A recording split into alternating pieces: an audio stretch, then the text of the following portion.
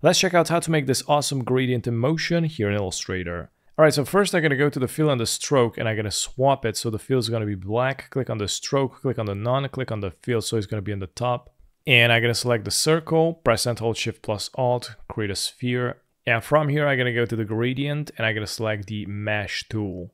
Now, if you don't have this mesh tool, you can go here to the three dots, click on it, and you go here to the paint, and here you can find the mesh tool. All you need to do is just drag and drop it somewhere here, and it's going to place it in the toolbar. After you select the mesh tool, all you need to do is go here to the sphere. I'm going to go somewhere at this point, click on it, and it's going to create this crossing section. And I'm going to do another one somewhere here. Now all you need to do is select one of these anchor points, click on it, let's go to the colors, and let's go and select the color. Now I'm gonna go back, select another anchor point, for example this one, and I'm gonna select another color, and this way you can customize them.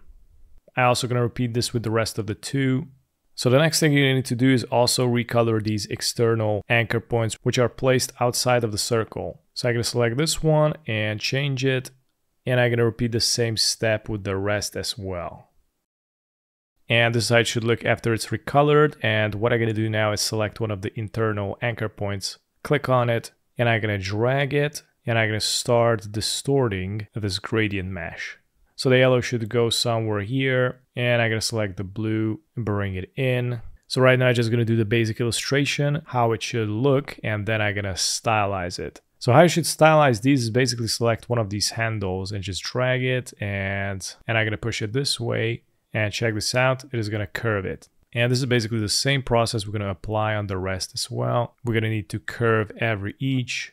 So we got a little bit of problem here. As you can see, it is kind of messed up, but I'm going to try to fix it. I'm to select this one and here I'm going to pull the anchor point. Let's see what happens. I'm also going to make these more straight and I'm also to bend this one. There you go. See that? So now it worked out. All you needed to do is like curve this one now it's better. And I'm also gonna curve the rest.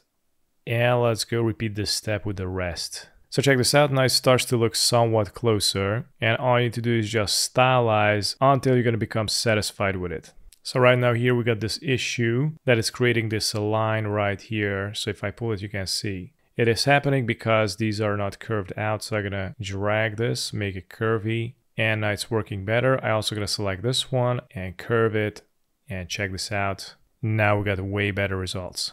All right, so this is how it looks. After you finish, you also can apply grain. So I'm gonna go to the effect. Let's go to the texture, select grain. The contrast should be on 50 and you can increase or decrease the intensity. And I'm gonna go with 35, click OK. And that's it. Thanks for watching.